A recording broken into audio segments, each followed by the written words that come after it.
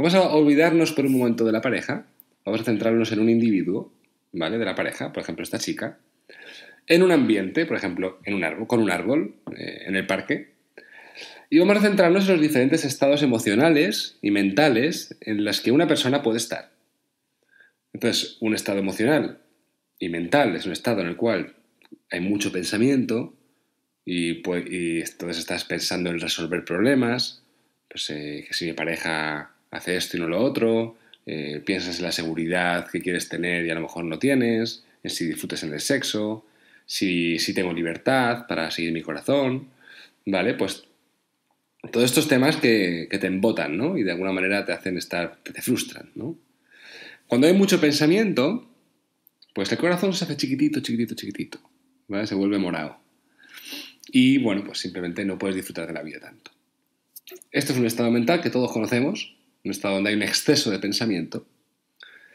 Y sin embargo, hay otras, eh, hay, en otras ocasiones que la misma persona puede estar en la misma circunstancia, en, un parque, con un árbol, y de repente pues nos sentimos bien, tenemos claridad, nuestra nube de pensamientos, y el corazón se expande.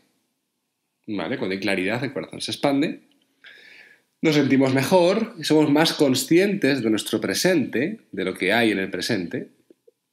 Por ejemplo, podemos escuchar los pájaros, eh, darnos cuenta de, de cómo el viento eh, levanta las, hojas de los árboles y podemos, tenemos más atención en el presente y hay más apertura y conciencia. ¿vale? Estos son un poco los dos estados mentales con los que todos lidiamos en el día a día.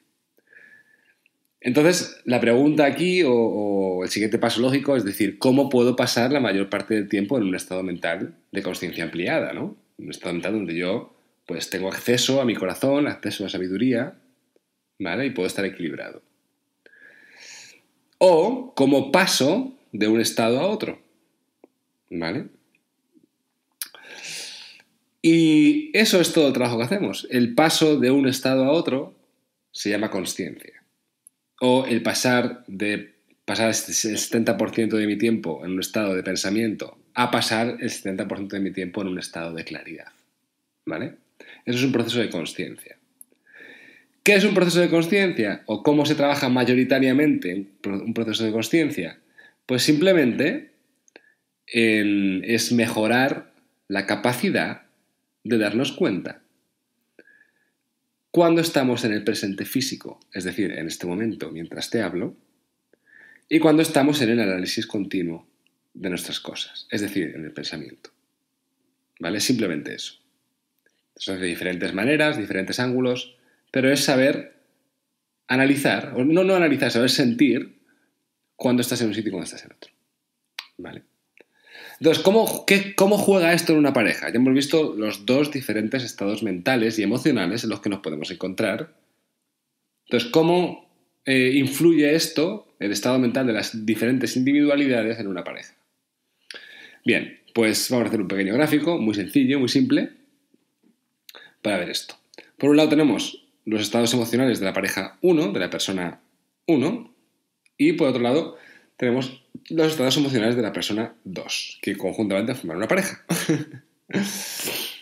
y entonces, bueno, pues hay un estado emocional en el que hay un miembro de la pareja que tiene claridad mental y otro miembro que está pues preocupado por, sus cosas, ¿no? por, el, por su pensamiento, por su drama. Y cuando eso pasa, eh, bueno, es sostenible porque una persona puede sostener el presente hasta que se le pase al otro, ¿vale? Pero ya crea eh, pues un poco de malestar, eh, la vibración no es tan buena, ¿vale?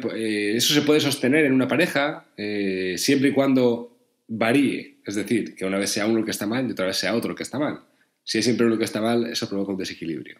Pero bueno, son estados que todos pasamos por ellos y son gestionables, ¿vale? Hay otro estado mental que es cuando las dos personas están en psicosis, digamos, en pensamiento, y ahí, eh, ahí simplemente hay guerra, ¿vale? Y eso es destructivo para la conexión entre parejas. Contra menos tiempo pasemos ahí, mejor. Y luego, evidentemente, está el opuesto, que es donde nos queremos dirigir todos, que es un estado mental, eh, y es el estado mental típico del enamoramiento, primero, ¿vale? Nos conocemos, nos enamoramos, no existe el tiempo, los problemas se disuelven, hay un amor pasional. Ese es el estado de presencia por las dos partes. Entonces, de nuevo, ¿cuál es el trabajo de conciencia? Hacer que las dos individualidades puedan pasar a la presencia, ¿vale? Y eh, estar ahí el máximo tiempo posible, ¿vale? Para poder hacer que ese amor crezca y fortalezca los vínculos. Y así, todos en amor seremos felices para siempre. este es el cuento que os quería contar, chicos.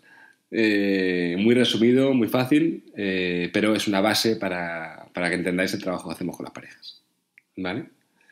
Os mando un abrazo fuerte.